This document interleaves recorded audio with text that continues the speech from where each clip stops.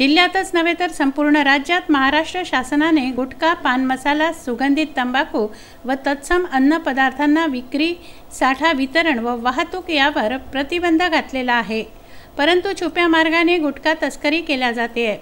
जिल्ह्यात खुलेआम गुटखा विक्री सुरू आहे.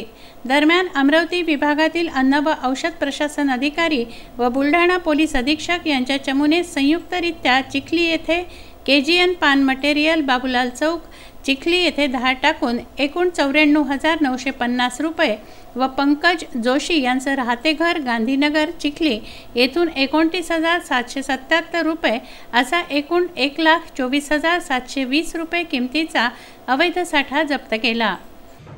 काल दिनांक तेवीस एक दोन हजार वीस रोजी पोली मान्य पोलीस अधीक्षक पाटील साहेब तसेच अन्न औषध प्रशासन यांच्या म्हणून संयुक्त मोहीम राबवली.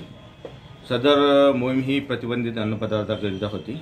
सदर मोहिमेमध्ये चिखली येथून messrs K G N paan material Baburao Chowk यांच्याकडून चौऱ्याण्णव हजार नऊशे पन्नास रुपये या पेटीकडून चौऱ्याण्णव हजार नऊशे पन्नास रुपयाचा व पंकज जोशी यांच्या घरातून अ, एको एकोणतीस हजार सातशे सत्याहत्तर रुपयाचा असा एकूण एक लाख चोवीस हजार सातशे वीसचा प्रतिबंधित साठा आढळ आढळून आला आहे सदर साठा जप्त केलेला आहे. सदर साठाचे नमुने घेतले असून नमुने प्राप्त झाल्यानंतर नमुनेचा विश्लेषण विश्लेषणावर प्राप्त झाल्याने पुढील कारवाई करण्यात येईल. दरम्यान खामगावात एका गुटखा विक्रेत्याच्या नियोजित ठिकाणी छापा टाकला असता तेथे काहीच आढळून आलं नाही.